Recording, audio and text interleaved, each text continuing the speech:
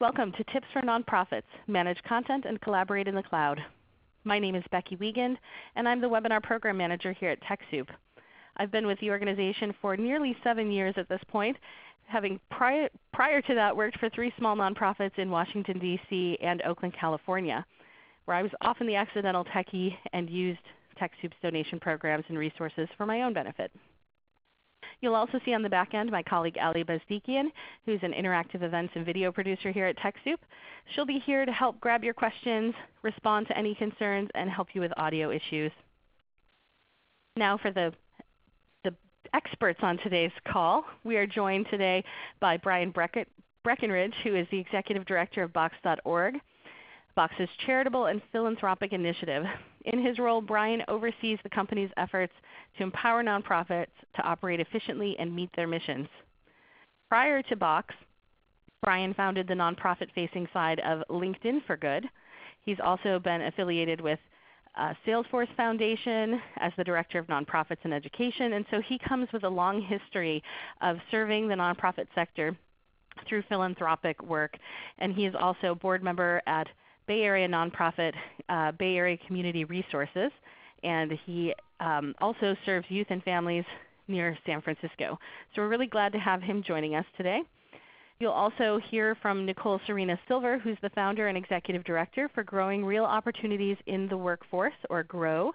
Uh, and her programs were developed to empower youth to take ownership of their education, careers, and futures. So she'll be talking a little bit about her experience collaborating in the cloud, sharing some tips, and what has really helped her organization as a small nonprofit benefit from cloud collaboration and helping manage their content in the cloud. We'll also hear from Tony Rodriguez, who's the Senior Director responsible for GuideStar Strategic Partnerships. Many of you may use GuideStar uh, for your own organizational profiles.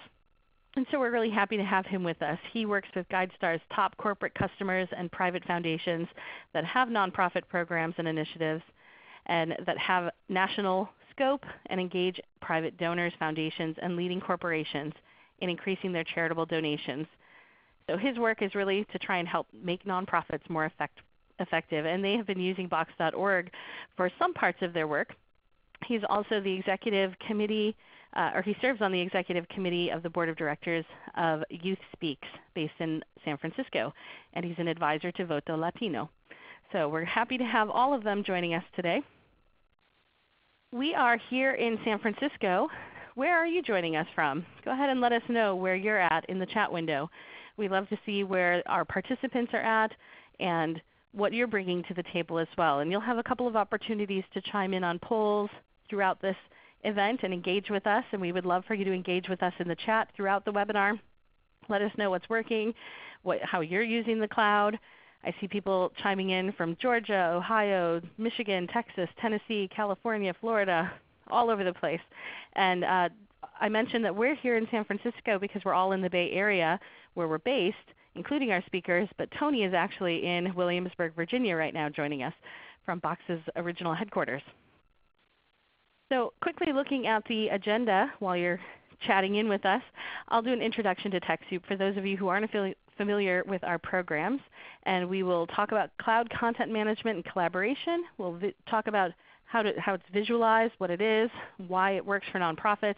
We'll hear some examples of, uh, from our participants, but also from Bryan sharing them. We'll share some success tips on how to best use the cloud and get to the cloud if you're not there already. And we'll talk about the Box donation program. We'll have time for Q&A toward the end. So TechSoup Global is a nonprofit serving uh, 121 countries around the world with 63 partners. We do that in a variety of ways, including events like this and content that we create. But most of you may know us because of our product donation programs, where nonprofits are able to access uh, discounted or donated software, hardware, and services from technology partners around the world. We've been doing that since 1989 and now have served to the tune of almost $5 billion worth of products and grants to the social sector. And you can find out more about us at TechSoup.org. So with that, I would love to bring on Bryan Breckenridge, who is going to take us through and invite his presenters, essentially, uh, to talk about how they collaborate and manage content in the cloud, share some tips on it, and talk a little bit about how they've used Box in particular uh, as a tool to do that. So welcome to the program, Bryan. We're so glad to have you. Hey, it's a real pleasure to be on the on the phone, and, and we really, as as an organization, appreciate TechSoup and the community and support that you provide to the broader for benefit sector. So thanks, Becky, for the work that you do to share learnings like this, and for your broader organization. We're huge huge supporters of you and, and all of those that you serve. It's an honor to be on the phone call with so many great organizations out there doing important work around this world and around this country. And so I'm, I'm really pleased to, to be able to do some teaching today, as well as have uh, personal and professional friends and colleagues, Tony and Nicole, sharing a lot of what, uh, what they've learned along their journey toward the cloud with, with managing content being effective in today's fast-paced and fast-moving world. So again, you, you heard uh, from Becky on who we are, so you can reference these backgrounds should you want to reach out to us. I know we're all amenable to good discussions with you over time and, and our, our people that, that have profiles out on LinkedIn, and that's always a good place to reach out to us individually. So the mission of Box.org is very much to help nonprofits or enable nonprofits to be more productive and collaborative in meeting their mission. We feel like this is the era when the knowledge and the content we have is colliding with our ability to collaborate with it and share it and store it and, and have it be secure. And so it's that intersection we're going to talk more about today. So in this brief section of our educational webinar today, we're going to show you a visualization of content management collaboration, define it, and then talk a little bit more about why it's becoming really important for nonprofits of all sizes. So I am now going to attempt to show you uh, this graphic in motion, and I may seek a little bit of support from Becky, but believe it or not, those blue and green dots that you're seeing on the screen are actually the map of all of the content, which is you know, the files within a nonprofit organization and where they travel. So the green dots that you'll see are the staff of this organization that has uh, hundreds of employees. They're a, a medium-sized organization that's, that's solving lots of poverty issues around the globe. Otherwise, we keep them anonymous. But the blue dots are the collaborators that they interact with. So consider this. The blue dots are donors, volunteers, board members, or other supportive stakeholders. The green are the staff members there. And then uh, I think you'll, you'll be fascinated uh, as we basically are visualizing what happened when they decided to move their organization from lots of servers where they have lots of their files into the use of the Box platform in this particular case, which is what I represent. But anyway, we have access to our data, so we could show it that way. But this is them using Box from day one out to their third year of use. So I'm going to click on this system here with the hope that I can bring this up for you. There's a lovely audio that associates with this. But uh, for today's sake, for the next 40 or 50 seconds, I'll just let you see the video. So again, this is data collected from a real customer that's moved their file management and collaboration into the cloud. This is their staff coming on through the first few months and year, now starting to share files externally. And so now they come in on year or day 1300 so three, three and a half years after adopting the Box platform, this is where they're collaborating. And if you give the graphic just a few more seconds, you'll see it. Uh, there's a really clever illustration here. In the middle of that blob is the ED of the organization. And that ED may be collaborating and sharing a file with the person looking after their income stream, who may very much be connecting with an external collaborator known as a corporate funder, but all in one tightly managed centrally housed repository of all of their pertinent contact, uh, content uh, with their contacts. And so wanted to give you just that quick visualization because I think this topic of where is our knowledge, where is our content, where are the presentation assets, the recordings, the pictures, the videos, the outcome and impact research that we're doing as we manage our programs, where is the donor list. All of these files, which we would consider content for the sake of today's webinar, uh, are, are traveling around in your organization, and more and more people are moving those into more centralized places that they have a little bit more control over. So I ask you the question what is flying around between your dots, your green dots, and your blue dots as your teams collaborate and as you collaborate with your external stakeholders? And we feel like the answer is that it's content. All of these file types, up to many hundreds of file types, depending on the sort of work that your organization is doing. And so we're going to have our first poll question. I'll get a little bit of help from Becky, but the question is how many locations would you say that your content or files or photos, all those sorts of things, live today? One to two, three to five, six to ten, more than ten, or you have no idea. Yep, so Becky, go ahead and click on those radio can... buttons. Yep, click on your screen and it should automatically react for you. We'll leave it open for just a few seconds here so everybody can can click those buttons and weigh in on where their content is. And and like Bryan said, it's content from photos, videos, membership info. It's uh, articles or speeches. It's anything that you're creating within your organization. Email drafts or you know things that you put out to your users, grant proposals. Where does all of that live? Uh, maybe in a couple of locations if you're lucky, if you're one of the lucky few. Uh, and I think many of us are spread out using a lot of different systems and a lot of different methods that are not very consistent. Uh, is it mostly housed in your email inbox, which is a painful reality for a lot of us, or in spreadsheets? Um, go ahead and select those. I'll give just a couple more seconds for everyone to weigh in. So five, four, three, two, one, and we'll show results for everyone to see. So the great majority of the respondents, um, the biggest group has three to five uh, locations for all of their content. And quite a few have more than 10 or no idea or 6 to 10 different, different places. So that's a lot of content and information spread out all over the place. So yeah, and I very that, much I'll appreciate you, you all back. sharing that. Thanks, Becky. So this this is pretty telling, and and one thing that is often most disconcerting to me, and it looks like we just had no idea tick up one more one more uh, space space there. But this is this is very common of organizations of all operating budget sizes. Content is so easily built now within different environments and manifest.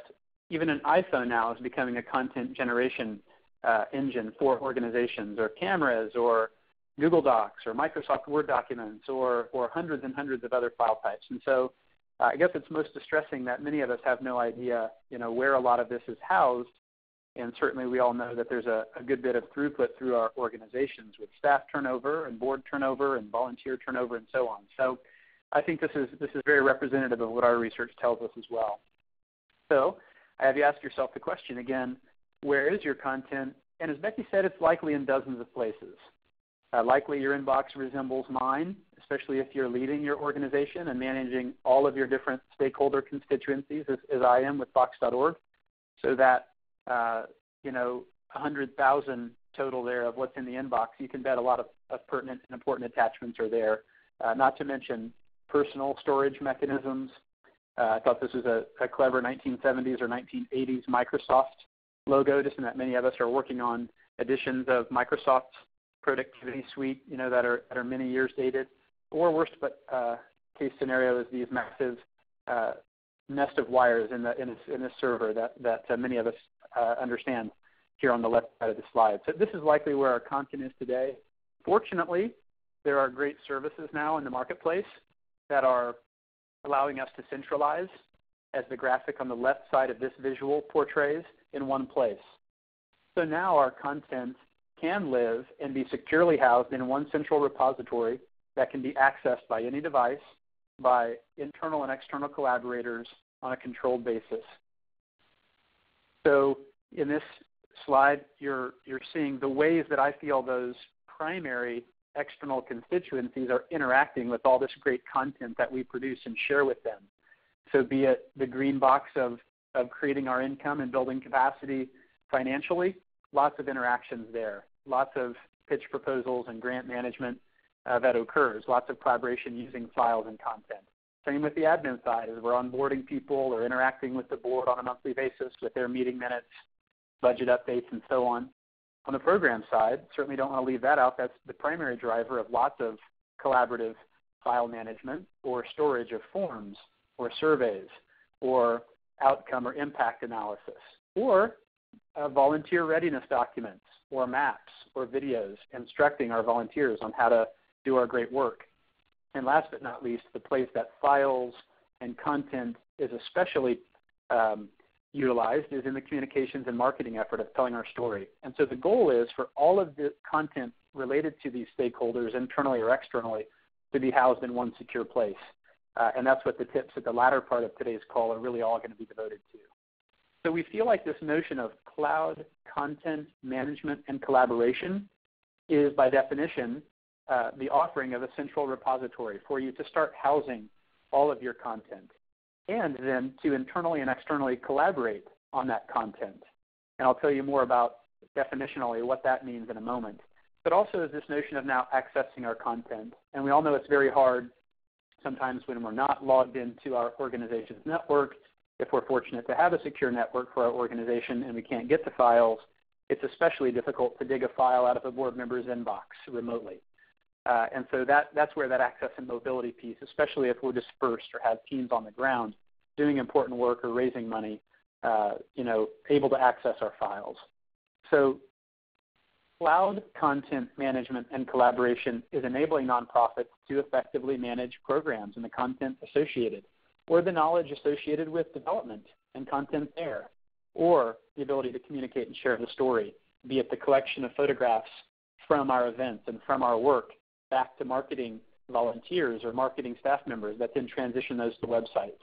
That whole process can either be riddled with cost and complexity and lost files and insecure transmission of files, or it can be tidied up uh, significantly.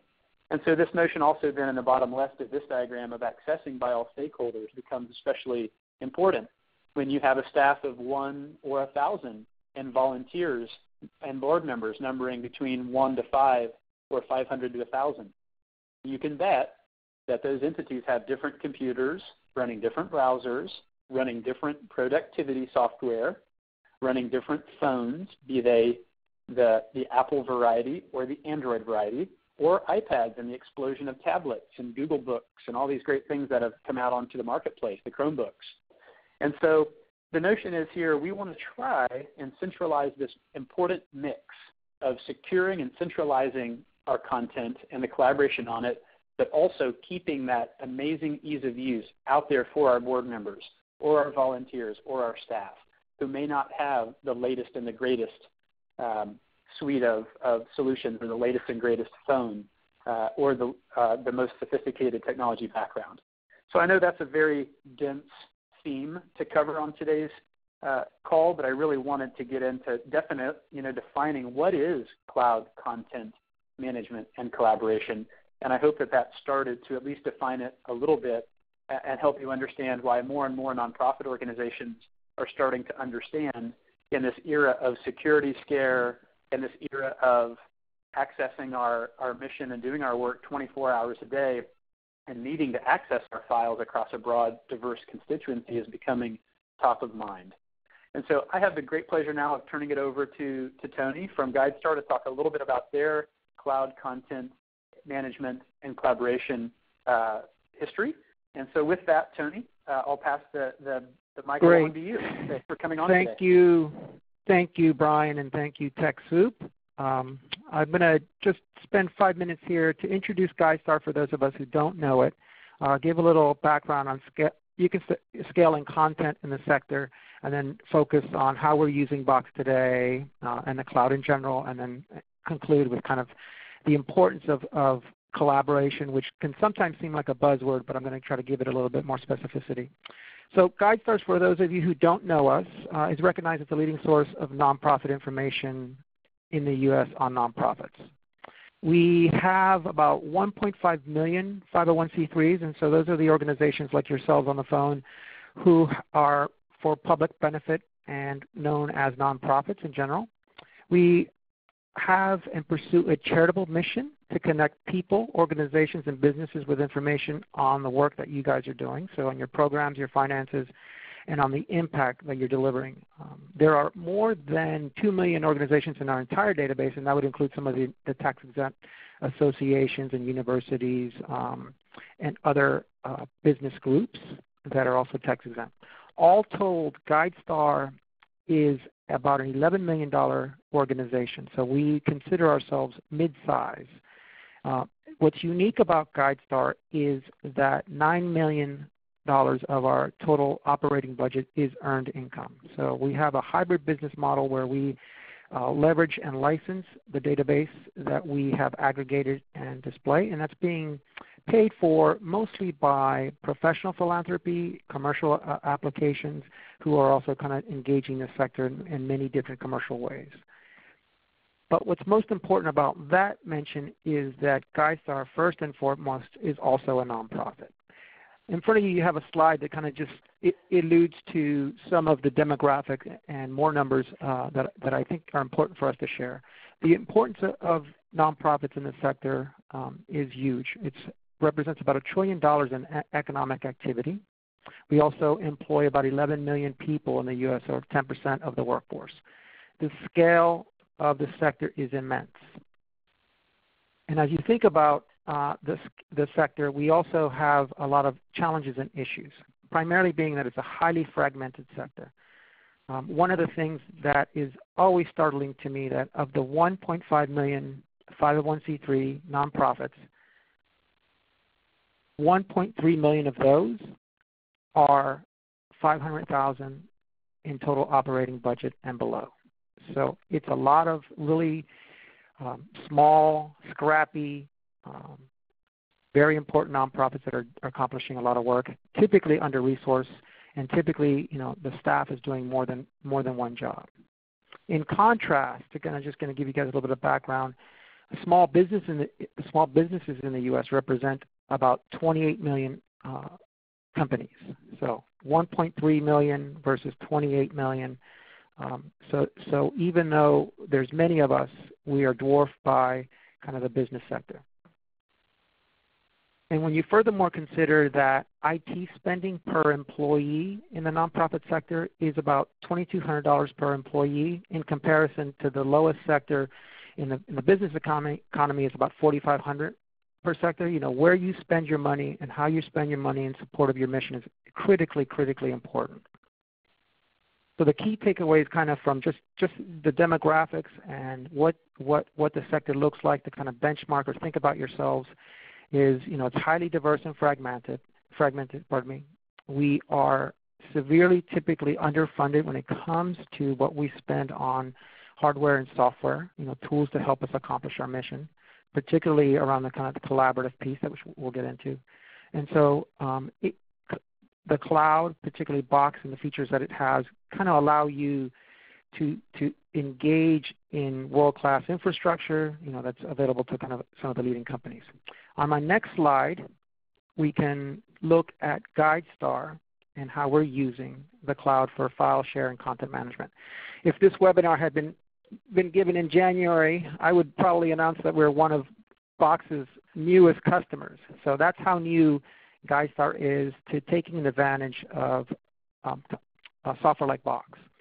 Now, needless to say, when we when I, I, actually participated in the poll, when Bryan asked us how many, you know, where do our files and our content live today, uh, GuideStar fell into six to ten places, and we were being conservative. Uh, I have a couple colleagues in the room with me, and we were shouting out where we where we we know just the four of us know where, where we have files on. And what's what's interesting about that is that you know if you're a small startup, um, you probably have a better chance that your files exist in less places. But as you can see, even a mid-sized organization like GuideStar tends to struggle with centralization and all the all the kind of key benefits that come with that.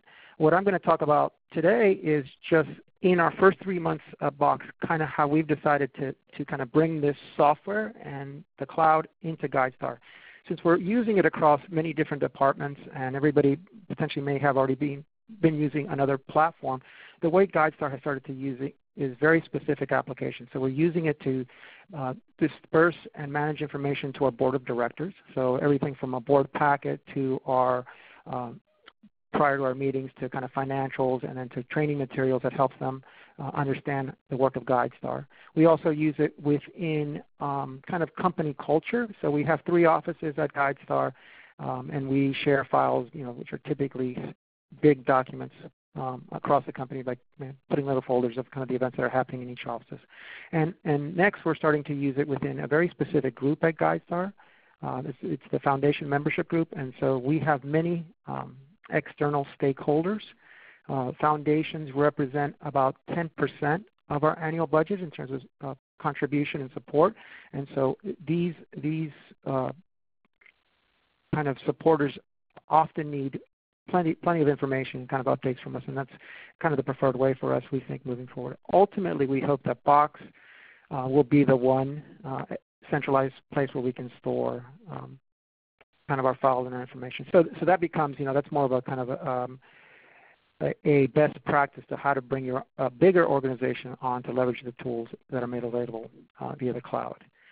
Um, with respect to kind of how we're using it today, the, the, the, th the, three factors that we, when we decided to kind of uh, start adopting the cloud was ease of use was number one. Since there are other people in the company already using other platforms, you know, basically the, the, the use, uh, the look and feel, how effective it is, how quick it is to manage, how, you know, how, how easy it is to kind of modify and customize and make it look the way you want it to look is very important to us. Secondly, security. Obviously, Bryan kind of put up all the benefits of all, kind of cloud systems, particularly Box's.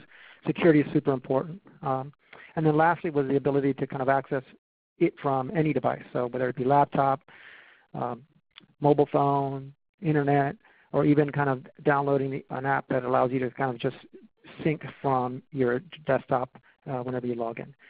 And lastly, we appreciate it, you know, and this is um, sometimes overlooked because it almost is becoming common sense, is it ultimately saves you money. And getting back to kind of IT spend and how the sector is underfunded, you know, it's very important to kind of be as effective as you can be. So that is uh, GuideStar's first three months on Box, and we're very excited. We love the feature set. We love the way it works and how it looks and feels.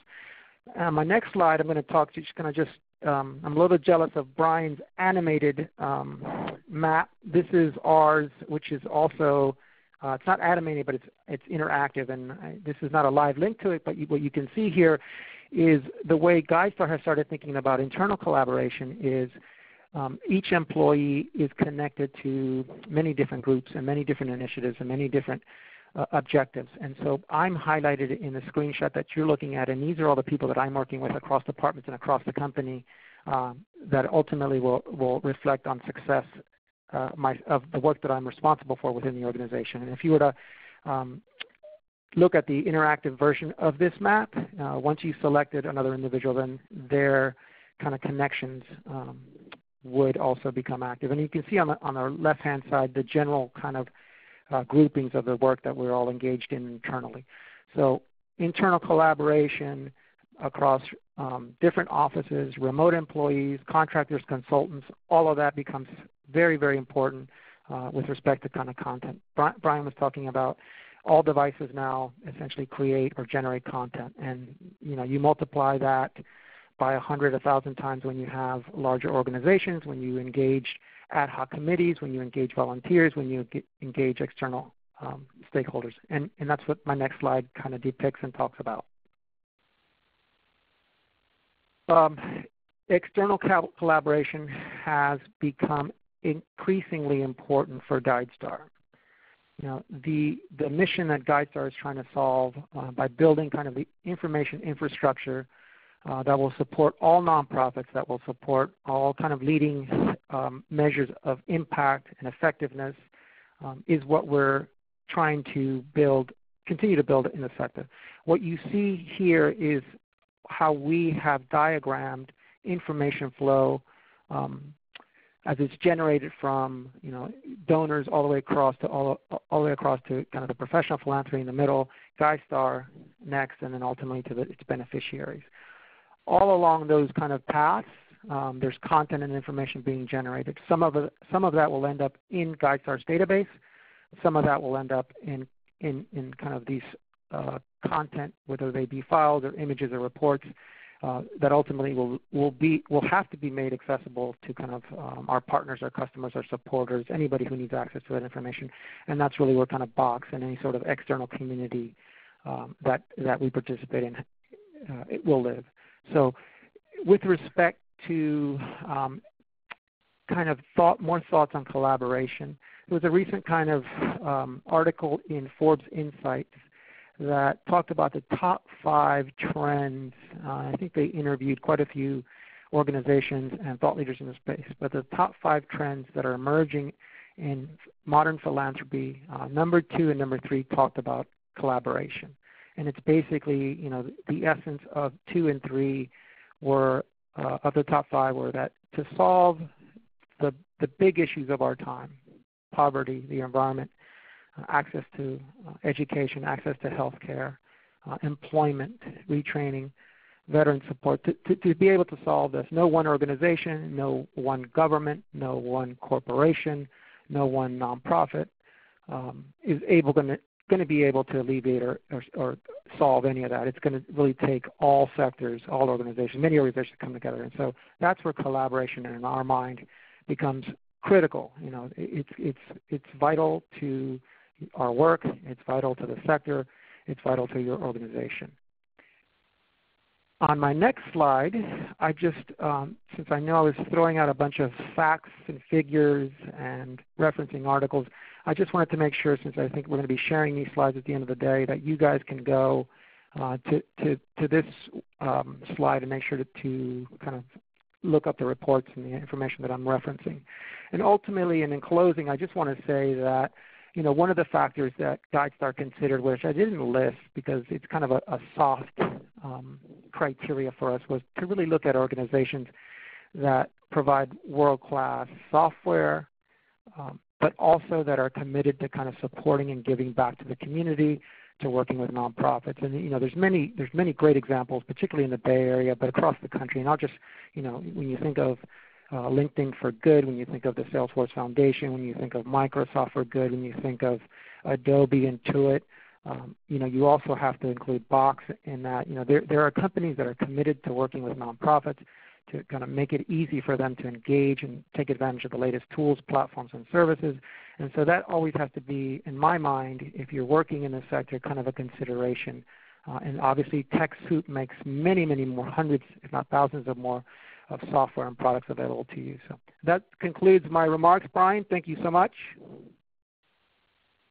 My pleasure. Thank you, Tony. I really was intellectually stimulated by the graphs and the, the, the importance of collaboration that, that you guys are, the emphasis you're putting on collaboration and being conscious about how you're collaborating internally as an organization nationally, and then certainly appreciate the, the zoom out on the sector broadly, and, and for sharing some thoughts about how you're deploying the cloud as an organization to manage the board. So we'll turn this over now to Nicole Serena Silver, who's the executive director and founder of growmyfuture.org.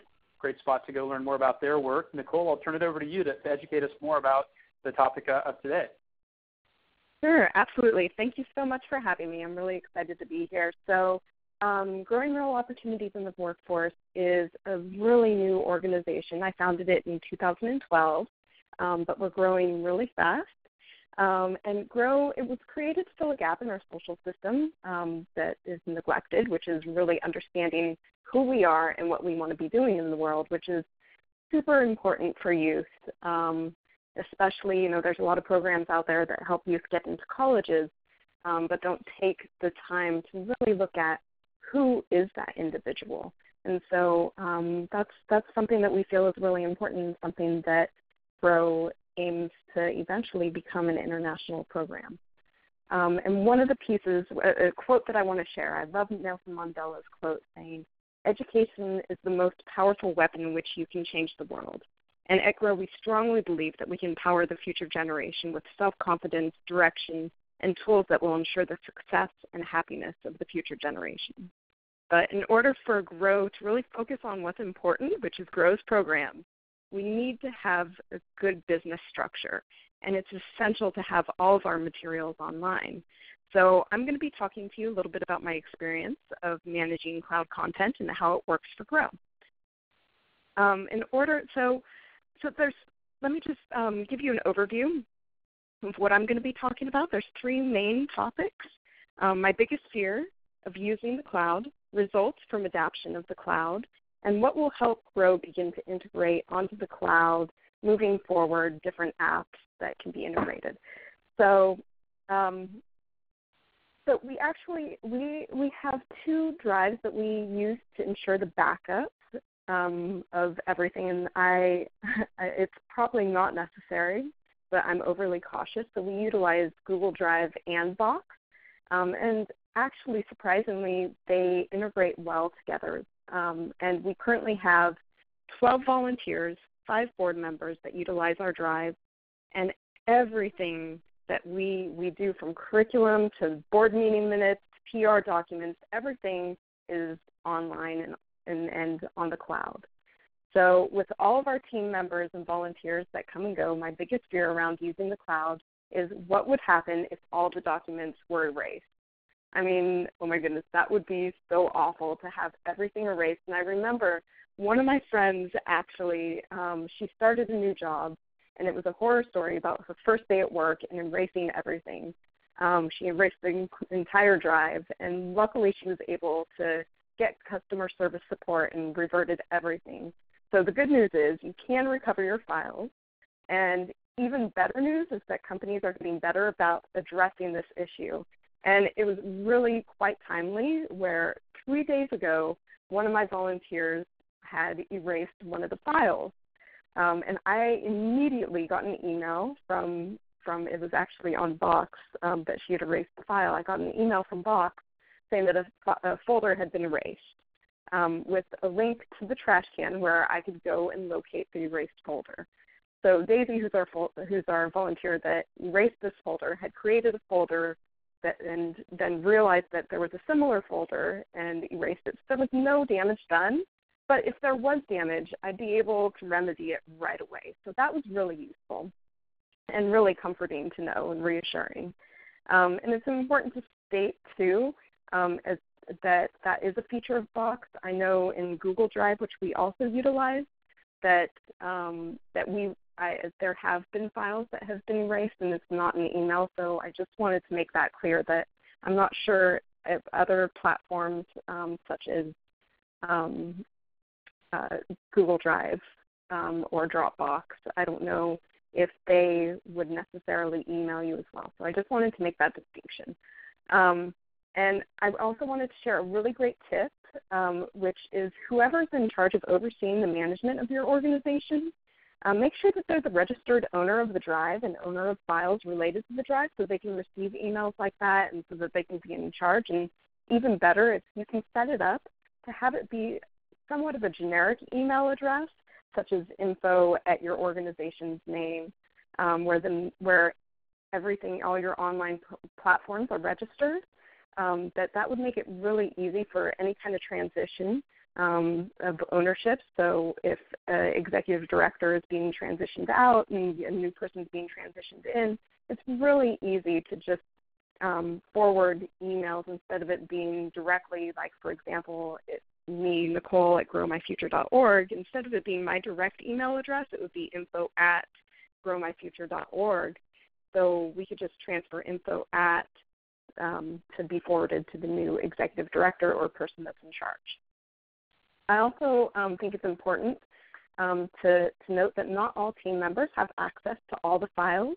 You can adjust access to specific documents or folders or how individuals can view specific documents. So, for example, you can be an editor, a co owner, a viewer, or a downloader of documents.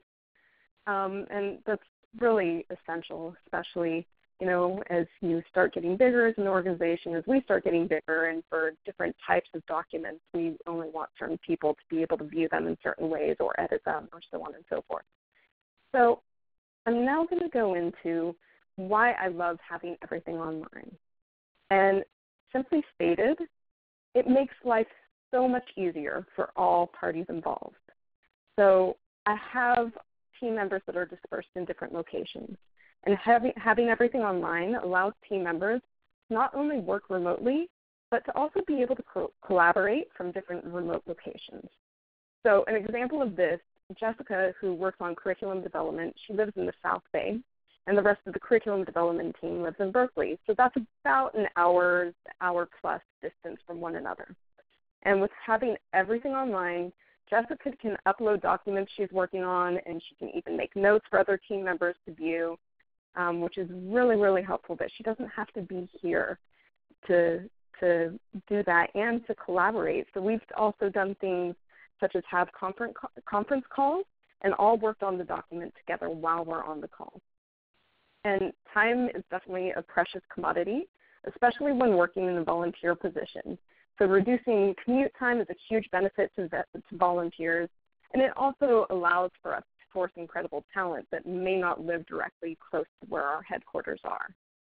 Another um, time-saving factor is that volunteers can upload their documents directly without having to email them to me or, you know, hand them in in person. I don't have to file them for them. They can just go and directly do that. So it saves me a lot of time, um, and and in turn also new vol- when new volunteers come on board, I don't have to send them a bunch of emails with information or give them a stack of papers for them to sort through all of you know the documents and whatever task they're specifically coming in for. I can just send them you know a, a direct link to whatever is relevant to their role. So everything is beautifully organized. It's all in one place for volunteers and board members to view. There's no big stacks of paper I need to sort through to find a document. I can go directly to the folder where the document is located or I can utilize a search bar to find specific documents, which makes it really, really easy. And the last piece that I kind of want to address here is, is that there's over a thousand applications actually that you can integrate within cloud storage. Um, and our technical director is in the middle of integrating Asana, which is a task management system that will help us oversee what everybody is doing, and then also Hootsuite, which is a social media management tool um, and it's going to be wonderful to work with all of these tools under one umbrella. So having everything on the cloud, as I mentioned, like we're very new. We're only two years old, um, but we are definitely expanding. Um, I'm, I'm, even talking to somebody in Ecuador and somebody in New Zealand about how much they love our program and how much they want to bring it into these different countries. Um, we're still looking at expanding nationally, but one of our values is definitely thinking outside of the box um, but if this is the case, if, the, if the, this collaboration takes that takes place, it's really easy having everything on the cloud. So it just it makes it so there's unlimited expansion that we can have, and that people from all over can can access documents, can access lesson plans. Um, we're we're starting to um, put together different trainings for individuals that, that can be accessed. So it's really exciting that all of this is online, and and it, it's just it makes it so much more expansive. Um, and and I'm I'm very thankful that I live in today's day and age where we can utilize the cloud to manage content. So I feel really honored to be able to speak to all of you, and I hope that my sharing has been of benefit. And with that, I'm now going to pass the mic back to Bryan. Thank you. Thanks very much, Nicole very much appreciate hearing how you as an organization are expanding your important work and how you're using some of these systems uh, to do so. So my stories will be brief, and then I'll get into tips.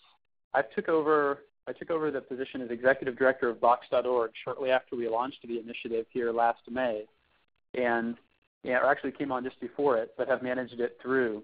Um, but in in managing this important program that resides here at the company called Box, uh, we interact a lot with partners like TechSoup. And I just briefly wanted to have a screenshot of the types of collaboration that I've had with the TechSoup team and my team internally as we've worked hard on this important relationship uh, over the past couple of months. So on the left side of this screenshot, for those that are following along on the, on the internet here visually, these are the different files, PowerPoints, real-time notes that are referred to as box notes in this case, kind of like uh, whiteboards, if you will, uh, and other folders, some of which are shared from this being my view out to the TechSoup team, and some being viewed by the other 30 or 40 collaborators here internally uh, in my organization. And so on the left in this screen in these systems that, that are housing this content, you saw a screenshot from Tony and Nicole. I just wanted you to see one for me as well. Content on the left, and then the collaborators and how I'm managing those on the right. And so, you know, as one example, you know, we talked about managing the content and having it in one place, but it's also important to consider how to collaborate on that. So removing this notion of sending attachments that can't be tracked around or that, that aren't dynamic. And so you can, with tools like the one provided by Box, often collaborate on the file itself, as you see on the left. So on the right side of that Word document file there, which is actually a press release I'm working on with TechSoup, you can see that we're collaborating on the right and tasking one another and keeping kind of a real-time collaboration within that document.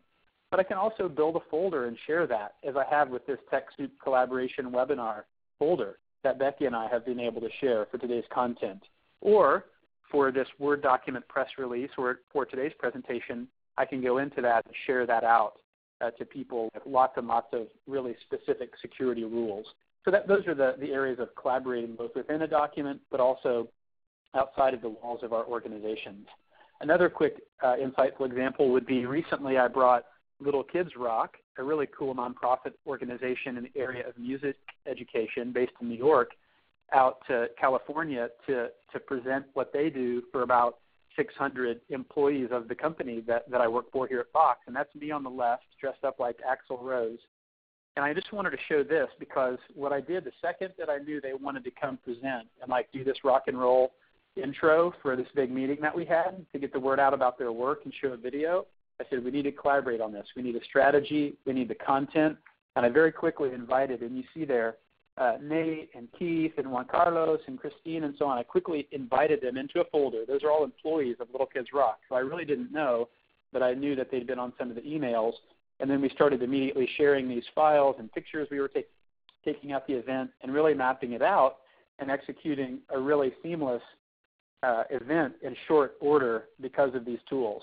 And the last insightful example will be here an organization that many of us have heard of called Kiva. Kiva uses uh, the cloud to manage content that they're capturing by taking pictures out around the world with all of the entrepreneurs that they help match up with loans uh, and donors that, that support their work through loans. And so they're out there around the world taking pictures. This is their the Kiva Fellows who are doing this on a volunteer basis they get to the internet or they bring those into their computer and then sync those to the internet when they get back to a major city or to the internet. And then those automatically come back into folders, which are then owned by their website team and other volunteers that then can transition those into their other, other systems. And so I just think that's a really great example of where you know many, many assets are being captured, but they're all being fed to one place. So let's do another quick poll, and then I'll come back in on 10 minutes worth of, of tips uh, which example or story resonated most for you? Please go in. Was it Tony's remarks, Nicole's, or some of the quick stories that I just shared? Please do a couple of more radio buttons and click submit, and we'll uh, we'll just get a sense for which of those were were seen as as um, as most applicable or resonant for you. And don't worry, we won't hold any of this personally. We won't. we just want to know what what uh, types of stories you want to hear, what things are most useful for you to hear about how other organizations are using different tools, or the ways that they're using tools, um, and tips for using them to help make it more useful for you. So just a couple more seconds here, and I'll go ahead and close the poll out and share the full responses with everyone. Um, it looks like we've got about 44% really enjoyed hearing from Nicole, so thank you for sharing that, Nicole. And, um, and then Boxing Guide Star with TechSoup, um, all of that, lots of warm fuzzies. We like it. Um, so I'll let you move forward, Bryan. We've got lots of good chat going on in the uh, chat window, so we'll be answering your questions and flagging them for Q&A in just a few minutes, so stick with us. You've got it. So those examples I think did cross against development and programs and communication uh, and administrative functions, all again living in central places on the cloud. And know that, that fortunately many thousands of organizations, even if at baby steps, are starting to adopt these technologies. Uh, and the tips that, that I think are, are most important for me to pass along to you as just one provider of these types of services would be to have a pretty uh, well thought out, or at minimum, um, intentional before plan, during, and after plan of implementing a more focused central repository or cloud-based solution for your content. I would audit what your green and blue uh, dots and, and what, what does your blob, what is your blob? Audit your blob here. I did that, that video earlier for those that were on with us that showed where are, is our content? Where does it start? Who makes it in our organization? Where does it travel and where does it live securely over time? Uh, and does it stay with the organization? So just doing an audit of that I think is often really important because then you're going to know who your heavy content creators are and where your primary collaboration pathways are. And those are the baby steps and the key areas and the power users and the power processes for you as an organization that you're going to want to bring into this type of environment first and prioritize how to then go forward. I think it's also really great to create a stakeholder success project group. That could be a couple of board members that are interested in, in making the, the board minutes process more streamlined, maybe somebody on the volunteer side, the staff side, but get a little group together and start brainstorming with them a little bit about their receptivity about this. And then as you're looking at the providers in the marketplace, find one that is focused on the needs of an organization, not just the, the hundreds of providers of individual storage solutions who kind of keep you in that email attachment paradigm, um, but, that are focused more on the organizational needs. That, so you can have that ease of use that you need that Tony touched on, but also an ease of trust for your tech volunteer or your tech resource, especially if you have highly sensitive HIPAA type data uh, in, in, the, in, the, in the health space. So integrating with other systems, I believe as Nicole touched on, is also I think important. Your teams are going to be creating Word documents one day and Google documents one day from another browser. So find a system that's friendly with both of those.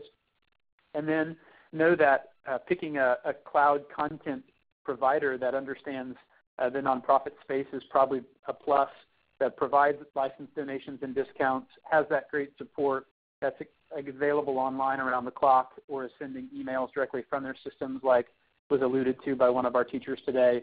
Uh, and certainly, you know, do your best to, to, to pick providers of these solutions that would love to know about your success and, um, and share that success so that you as an organization are seen in the innovative light that, that I know donors are appreciative of.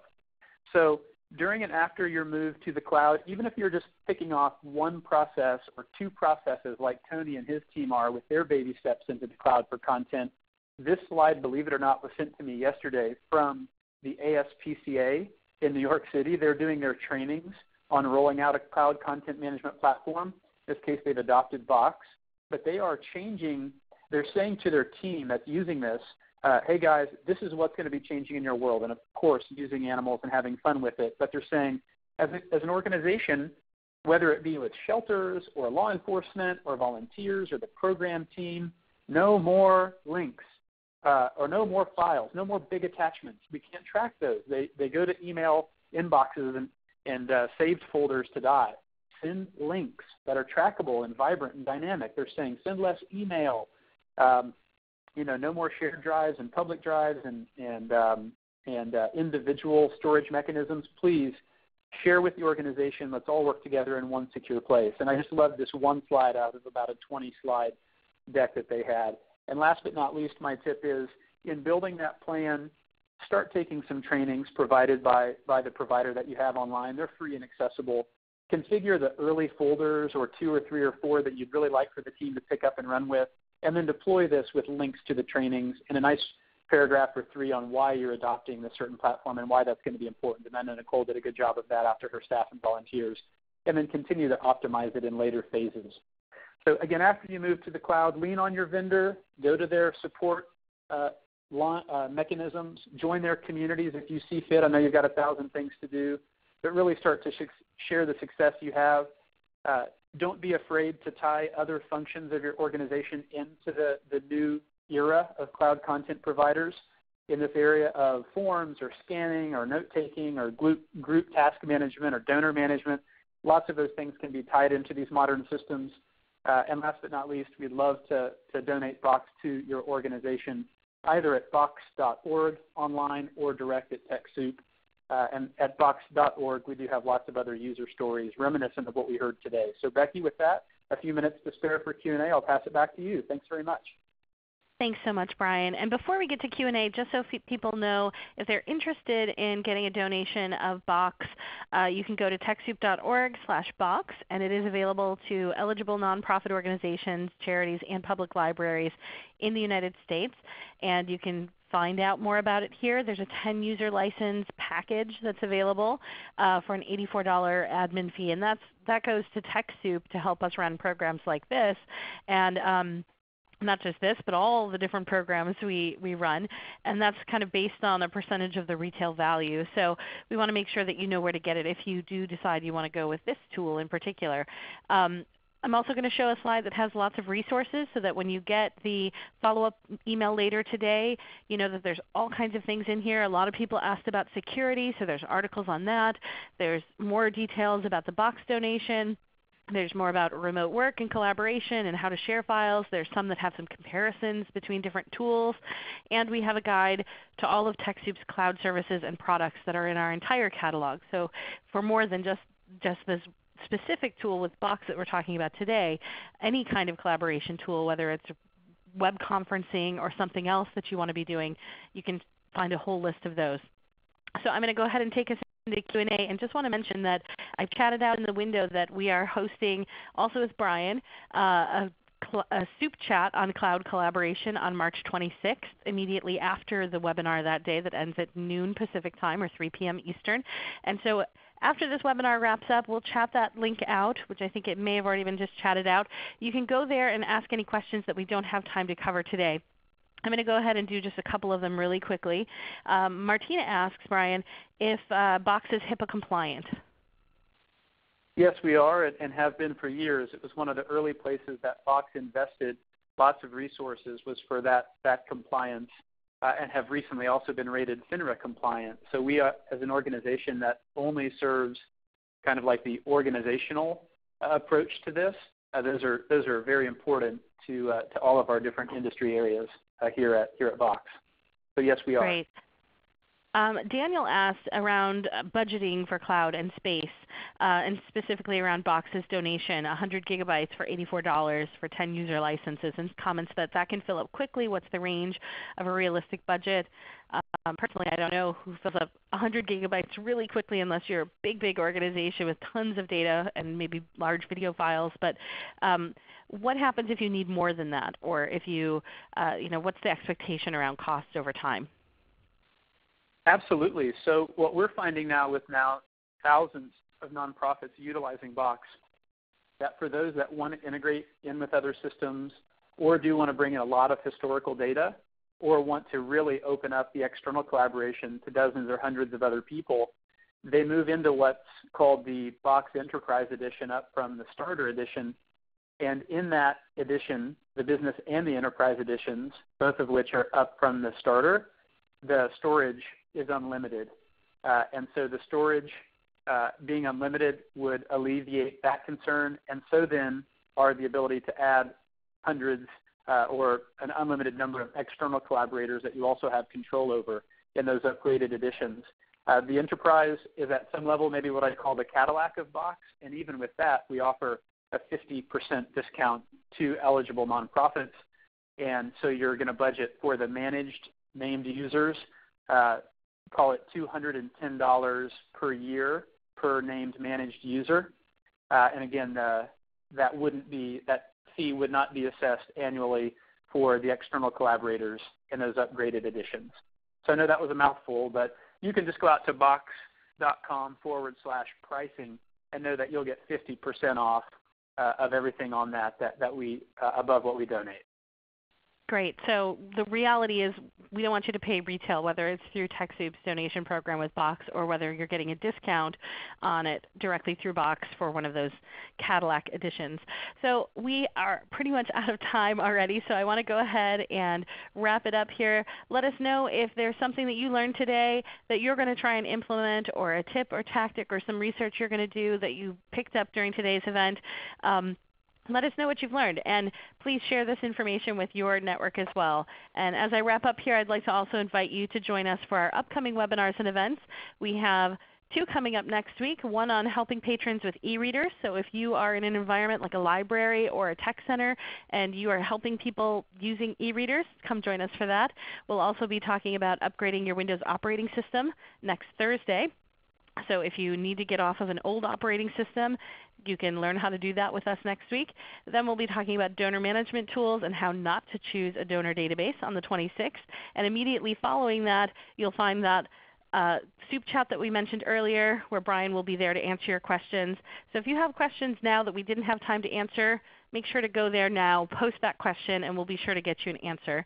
Thank you so much Bryan, Tony, and Nicole for taking the time to share with our audience today. We really appreciate you having joined us and, and sharing your experiences with everyone. Thank you to all of our participants. Please connect with us at TechSoup Global, TechSoup.org, on our Facebook and on our Twitter. And lastly, I'd like to thank ReadyTalk for the use of their platform. Providing the use of it gives us the opportunity to present these webinars to you on a weekly basis. So you can also find out more about ReadyTalk's donation program at TechSoup.org slash ReadyTalk. We're using their ReadyTalk 500 platform to do these webinars. When you close out of here, please complete the post-event survey that pops up in your window and help us continue to improve our webinar programming. Thank you all so much. Thanks to Ali on the back end, and have a terrific afternoon. Bye-bye.